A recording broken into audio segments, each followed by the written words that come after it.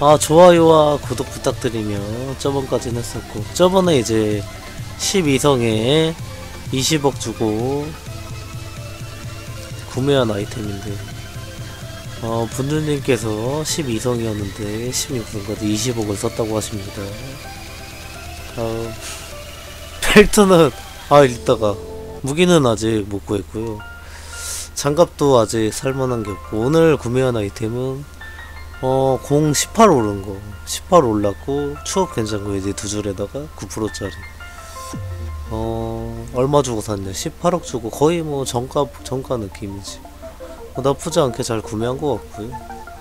그 다음에, 하나 더. 이거는 22억이었나? 이렇게 펜턴트하고 이렇게 두 개를 구매하였고요. 오늘 제일 슬픈 일은 무엇이었는가?